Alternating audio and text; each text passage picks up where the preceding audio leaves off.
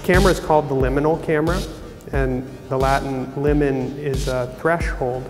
So liminal means a state or a, a position at the threshold.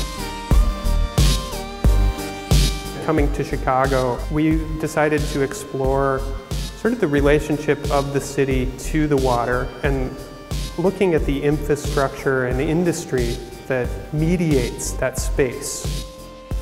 This exhibition looks at the history of Chicago. DePaul is very rooted in the city of Chicago, so it's a new view on the city of Chicago. And on top of that, it looks at water resources in Chicago and how the city's waterways, the lakes, the rivers, the canals formed the city, how the city grew around those systems of water and how the city continues to grow and evolve around those systems of water. A lot of the photographs that you will see here in the gallery are exploring that liminal zone along the corridors of the Calumet, along the Chicago River, looking at the lakefront, looking down in Gary, Indiana, some of the industry where BP is doing refining, where bridges and trains meet and cross the bodies of water.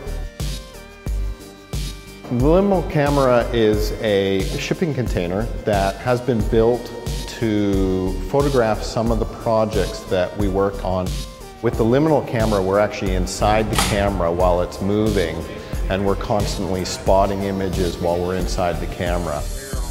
This is actually a camera. It's not a pinhole camera, it's not a camera obscura, it's a functioning camera. It has a aperture, it has a shutter, it has a focusable lens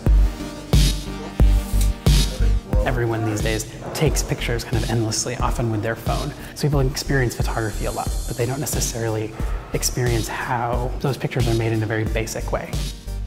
The larger liminal camera project infuses the process and the history of photography into contemporary concerns about resources, economies, histories, and the movement around the country.